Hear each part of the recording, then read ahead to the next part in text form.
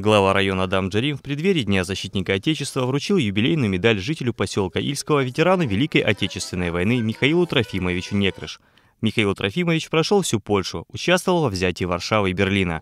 Награжден медалью за отвагу, за боевые заслуги, за победу над Германией, орденом Отечественной войны второй степени. Спасибо вам.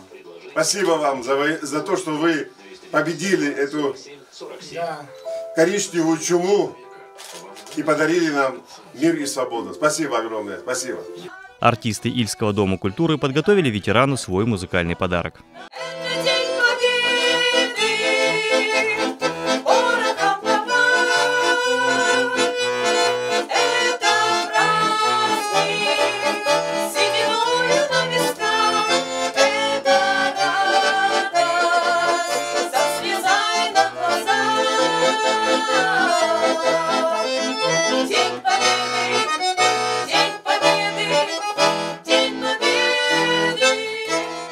Конце встречи глава района еще раз поблагодарил Михаила Трофимовича за победу и поздравил с наступающим Днем Защитника Отечества.